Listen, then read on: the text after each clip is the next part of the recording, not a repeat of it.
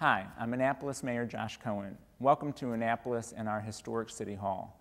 The history of Annapolis mirrors the history of the United States in many ways when it comes to the civil rights challenges as well as successes. In 1963, the height of the civil rights movement, Dr. Martin Luther King Jr. held a March on Washington that stands today as one of the pivotal moments in American history. In 1963, on that day, 100 years to the day after President Lincoln signed the Emancipation Proclamation, which made slavery illegal in the South, segregation, discrimination, inequality were still rampant throughout Maryland and many other parts of the country. That March on Washington provided the momentum for Congress to pass the Civil Rights Act of 1964 and to follow that up with the Voting Rights Act of 1965.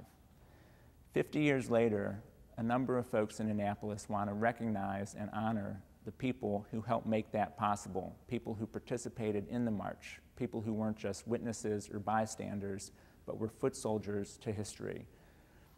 We're putting together a plaque and we're asking for your support in two ways. One is if you participated in the march, if one of your family members did, if you know someone who did, please submit that information to the address on the screen so that those names can be included on the plaque.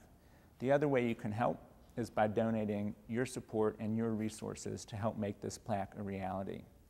The location for the plaque is going to be at what is now called the Whitmore Park, which 50 years ago was the bus depot where buses came, picked up passengers, and took them to the very march in Washington.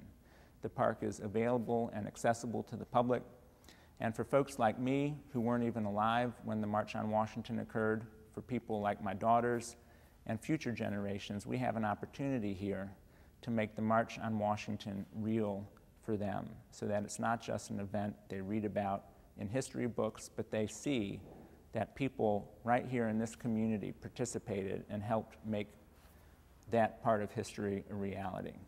I'm asking for your support as we move forward. Thank you.